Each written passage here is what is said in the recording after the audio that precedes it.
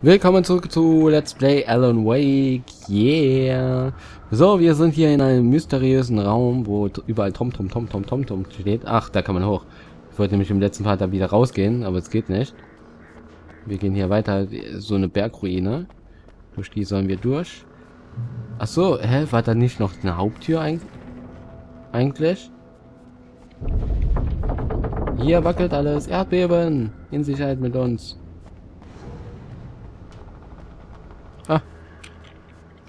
Nehme ich doch gerade mit. Stylisch und lässig auf der Treppe. Ach, da war noch eine Thermosflasche. Haben wir noch im letzten Part gesehen. Geschitten. Geschitten. Oh.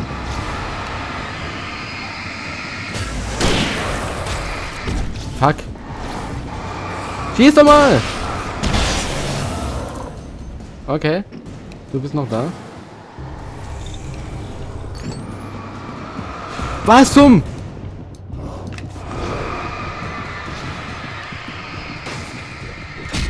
Nein.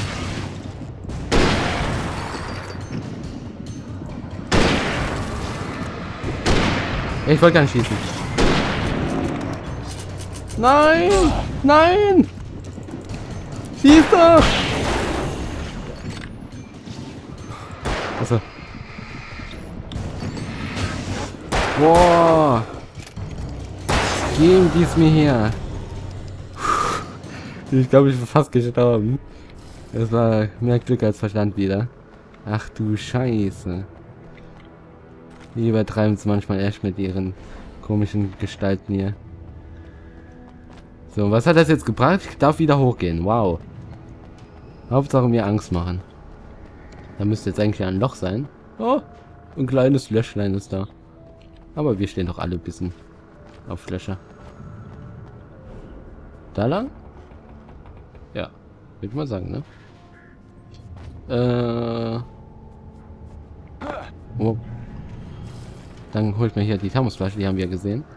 Genau, das Tor war ja zu. Kann ich das jetzt aufmachen? Bin echt mal gespannt. Ne, ist so.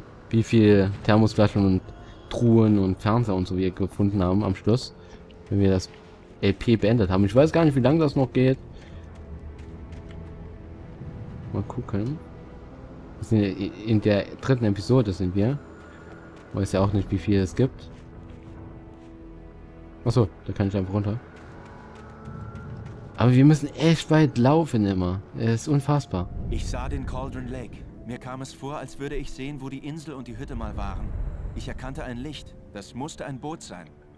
Ja, unsere alte Hütte, glaube ich. Also, wo wir...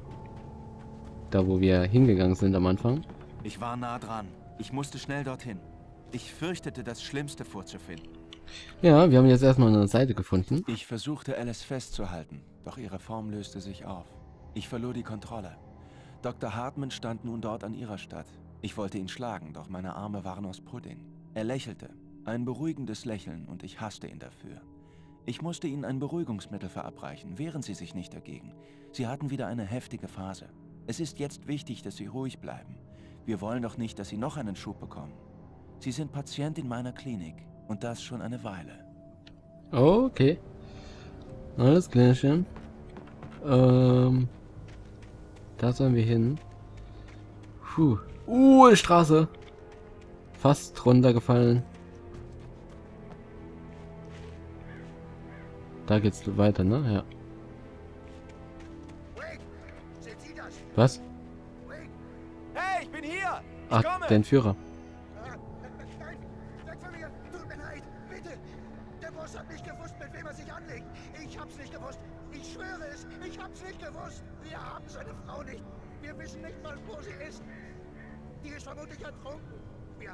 Behauptet, dass wir sie haben, damit er mitspielt, wissen Sie? Damit er für uns schreibt. Bitte, bitte. Es tut mir so leid. Bitte. Tun Sie mir nicht weh. Okay. Aha. Ihr habt es ja gehört.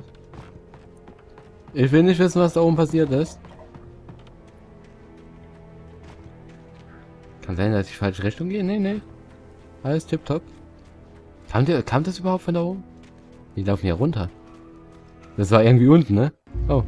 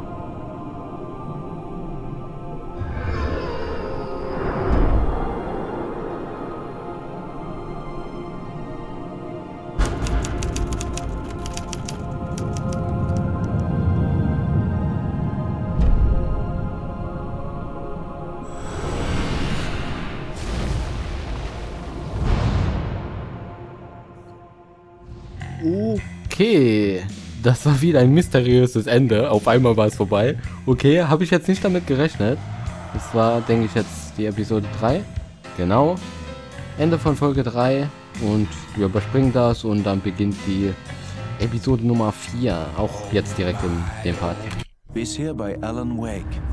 Die Polizei ist hinter mir her. Sheriff, Wake ist auf der Flucht. Ich bin hinter ihm her. Wenn Sie mir weismachen, dass dieser Schreiberling meine Deputies umgelegt hat? Ein Thriller, den ich geschrieben haben soll, wird wahr. Das Genre der Geschichte scheint sich zu ändern. Sie wird zu einer Horrorstory. Sie sagten, Alice wurde entführt. Das war eine Lüge. Wir haben seine Frau nicht. Wir wissen nicht mal, wo sie ist. Ihr angeblicher Entführer wurde vom Dunkel verschlungen, bevor es mich angriff. Folge 4, die Wahrheit. Alan. Baby, es war nur ein Albtraum. Alice. Namen bitte. Hartman? Bin ich Ich gefallen? musste Ihnen ein Sedativum geben, nichts weiter. Sie hatten wieder einen heftigen Schub, Alan. Was? Es ist jetzt äußerst wichtig, dass Sie ruhig bleiben. Nicht, dass Sie wieder einen Schub erleiden. Sie sind Patient in meiner Klinik und Sie sind es schon eine Weile lang. Durch den Schock über den Tod Ihrer Frau sind Sie geisteskrank. Nein, Sie. Sie lügen. Sie leiden an verschiedenartigen Symptomen einer undifferenzierten Schizophrenie. Mist, Kerl. Ich bringe Sie um. Ist schon gut, Alan. Lassen Sie los. Ich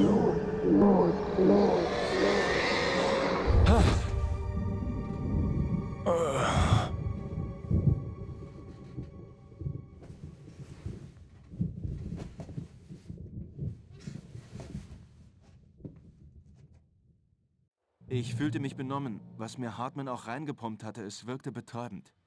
Ich hatte das Gefühl, das hier würde jemand anders erleben. Jemand im Fernsehen. Ich konnte nicht denken, mich nicht konzentrieren. Okay, gut. Äh, wir haben ja, also die letzte Manuskriptseite, die wir gefunden haben, hat das ja beschrieben. Hier das. Ist ja immer so ein Vorausblick. Alan Wake schreibt ja, hat ja die Geschichte geschrieben, die wir erleben und finden ja immer die Seiten. Hallöchen. Guten Abend, Alan. Fühlen wir uns jetzt besser? Ruhiger? Tja, wie ich sehe, haben Sie Ihren Gorilla mitgebracht. Also klar, ich bin ruhig. Die Botschaft ist ziemlich eindeutig. Gut so. Sie begreifen. Sie sind sehr tapfer, Alan. Ich verstehe, dass Sie verwirrt sind. Ich würde mir noch mehr Sorgen machen, wenn Sie mich nicht im Verdacht hätten. Das nehme ich Ihnen nicht übel. Zu gütig. Also, warum kommen Sie nicht mit mir? Wir machen Sie wieder mit meiner Klinik vertraut und gehen alles durch, was Sie vielleicht vergessen haben. Ein Spaziergang an der frischen Luft, ja? Das wird Ihnen gut tun. Ich box dich. Wechser. Ich will schreiben. Ich will schreiben. Ich will schlafen. Ich folge ihm jetzt nicht, doch ich folge ihm. Äh? Hallöchen. So sieht er aber nicht aus. Oh. Geil, Xbox. Night Springs, das wir immer im Fernsehen sehen. Geil, gibt's das echt als Spiel? Ich will die Xbox klauen. Wir machen erstmal alles kaputt. Was ist das denn? Ah ja. Okay. Oh. Dieser Flur ist für Patienten. Die meisten von ihnen sind gerade nicht hier. Jack hat sie zu einem Angelausflug gebracht. Natürlich bis auf diejenigen, die besonders schwächlich sind. Ich sehe Kreativität in unserer Cauldron Lake Lodge als Teil des Genesungsprozesses an. Ich bin darauf spezialisiert, Künstler zu behandeln. Ganz bestimmt. Wunderbar, Alan. Ich glaube, dass wir diese Sache in den Griff bekommen können, wenn wir zusammenarbeiten. Ja, Hier guck lang, nicht so. Ich mach dich auch noch kalt. Hier lang, okay. Oh, scheiße. Hier lang? Oh, hier lang, genau. Äh, hat jemand gemalt? Aussicht und Stuhl kaputt machen. Dass er nicht sagt, dass ich hier rumlaufe. Ich guck mich erstmal um. Ich bin ja noch neu hier. Äh? Ein Bär. Ein... Oh Gott, so Bilder machen mir Angst. Warum hängen die da? So komische Bilder. Ah, der ist da reingegangen. Mann. Muss ich sogar drücken? Nee. Also, Alan, aus meinen vorherigen Erlebnissen mit Ihnen weiß ich, dass ich nach einem Vorfall schnellstmöglich zum Kern der Sache kommen muss. Also sage ich es direkt. Alice ist tot. Nein. Sie sind in einem sehr kritischen Zustand, bis Sie es begreifen und akzeptieren. Alice ist ertrunken. Und Sie konnten sich dem nicht stellen. Sie leiden an Halluzinationen, paranoiden Wahnvorstellungen, sind von Licht und Dunkelheit besessen, von einem Gefühl, das um Sie herum alles durchdreht, auch Ihre Gedanken und Träume. Ihr Geist hat ein fantastisches Szenario ersonnen, in dem Ihre geschriebenen Worte die Realität beeinflussen. Alice sei entführt worden und übernatürliche Mächte versuchen, sie aufzuhalten. Das stimmt ja auch, du Vogel. Hier entlang, Alan. Ich wollte keine weitere Dosis, also spielte ich mit. Er log ganz sicher. Aber da ich unter Medikamenteneinfluss stand, musste ich kämpfen, um ihm nicht zu glauben. Das ereignet sich alles nur in Ihrem Kopf. Abgesehen von dem tragischen Unfall mit Ihrer Frau ist niemand ums Leben gekommen. Ihre Wahnvorstellungen sind nur eine Manifestation Ihres Unterbewusstseins, das versucht, Sie vor der zu schmerzlichen Wahrheit zu beschützen. Nur wenn wir die Fantasie bekämpfen, wird sie nicht zurückkehren. Ich weiß, Ihr Instinkt befiehlt Ihnen, sich gegen mich zu wehren. Aber denken Sie darüber nach. Ergibt es nicht viel mehr Sinn, dass Sie sich diese abstruse, übernatürliche Verschwörung nur ausgedacht haben? Sie sind ein skeptischer Mensch, Alan. Wir wissen beide, alles kann logisch erklärt werden. Ich will da rein. Ich glaube, es bringt hier überhaupt nichts. Na, geh weiter. Oh. Nice. Komm, erzähl weiter. Deine Geschichte. Glaubt ihr eh nicht. Alice ist nicht tot. Auch geile Antwort von Ellen. Alice ist tot. Nein. so geil. Na komm, erzähl irgendeinen Bullshit.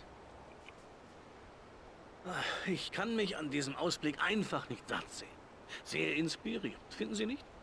Unter uns lag der Cauldron Lake. Ich konnte den Mirror Peak auf der anderen Seite ausmachen und ich glaubte zu erkennen, wo Divers Isle bei meiner Ankunft mit Alice gelegen hatte. Jetzt gab es dort nur Wellen. So wie es aussieht, zieht ein Sturm auf. Komisch, ich kann mich nicht daran erinnern, etwas darüber im Wetterbericht gehört zu haben. Naja, egal. Hier entlang folgen Sie mir. Ja, das ist die Dunkelheit, die Alice getötet oder entführt hat. Vogel. Jetzt haben wir die Kontrolle. Jedes Mal, wenn Sie einen Rückfall erleiden, wird es schwieriger für Sie, aus den dunklen Tiefen Ihrer Einbildungskraft wieder aufzutauchen. Was in Anbetracht Ihres Berufs nicht überrascht. Einbildungskraft ist schließlich Ihr Handwerk. Nach all den Albträumen, die Sie durchlitten haben, sollte Sie dies enorm erleichtern. Falls nicht, dann fragen Sie sich, wieso nicht? Weil ich lüge? Oder weil Sie nicht zugeben wollen, dass Sie nicht bei Verstand sind? Es ist ganz natürlich, dass Sie mich für Ihren Feind halten. Das gehört zur Ich ließ ihn reden. dazu. Bin liebte ich offensichtlich derjenige, den der Klang seiner Stimme. Seine Worte Welt halten in meinem. Kopf wieder. Aber das kann Ich bohrte mir die Fingernägel alleine, in die Handflächen, um klar zu bleiben. Wenn Sie das akzeptieren, können wir Hand in Hand die Reise zu Ihrer Heilung antreten. Kommen Sie mit. Gehen wir hinein. Hallo, Thermosflasche. Äh, schon wieder er. Oh Gott, jetzt bin ich hier mit Das Verrückten. ist der Eingang zum Bürotrakt. Zutritt nur für Personal. Als Sie hier eingetroffen sind, waren Sie von meinen Trophäen beeindruckt. Ich liebe die Jagd. Die freie Wildbahn, der Mensch gegen die Natur. Ginge es wunderbarer? Wirklich wunderbar, ja. Ich will da hochgehen. Beängstigend, beängstigend. Ich guck erstmal.